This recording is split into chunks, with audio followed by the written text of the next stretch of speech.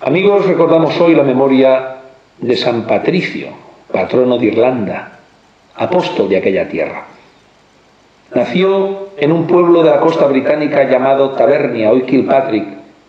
Se señala que en la alborada de su juventud, a los 15 años, fue hecho prisionero por unos piratas junto con otros compatriotas, vendido como esclavo en Irlanda. La desgracia no le hizo perder la paz del alma.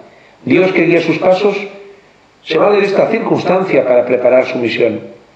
Con el conocimiento de la lengua y costumbres del pueblo irlandés, aprende provincialmente los horrores de la esclavitud que despiertan en su alma los primeros ideales redentores. La desgracia le hace abrir los ojos, obligándole a poner en Dios su confianza.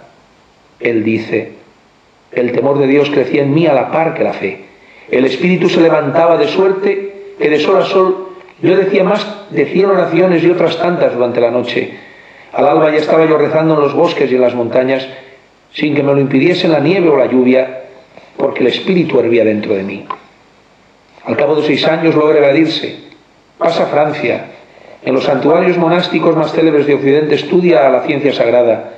Años de formación ascética y apostólica al lado de San Germán de Auxerre le parece ver a los idólatras irlandeses alzando hacia él los brazos y gritando como náufragos, vuelve a nosotros, discípulo de Cristo, ven a traernos la salvación.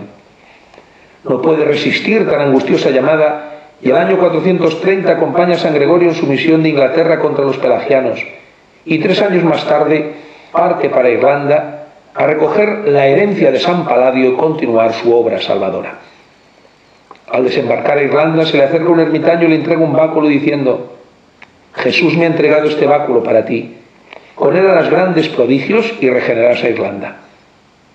La actividad de este aventurero de Cristo se multiplica hasta lo milagroso. Cruza la isla en todas direcciones, habla a los reyes, a los jefes de clan, al pueblo belicoso idólatra, y los saca todos a la iglesia con las cadenas de su bondad y sus prodigios consagra obispos, erige sedes, levanta iglesias, funda escuelas. Viaja a Roma y León Magno le da nuevos compañeros de apostolado. Legislador a la vez que misionero, pone el código a tono con el Evangelio. Las leyes de San Patricio son un código de ciencia, santidad y prudencia. La poesía pagana halla en él un mecenas entusiasta.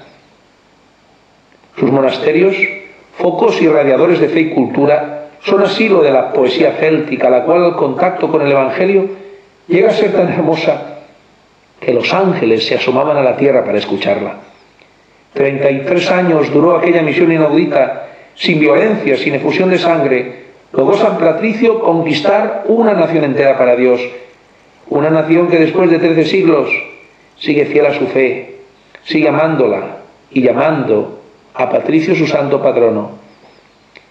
Que el Señor interceda por la tierra de Irlanda, tan probada por las persecuciones y ahora tan probada por los pecados de sus miembros. Que el Señor fortalezca la fe de ese pueblo y mirando la cruz que tanto amó San Patricio, encuentren un nuevo camino para seguir a Jesucristo. El Señor os bendiga.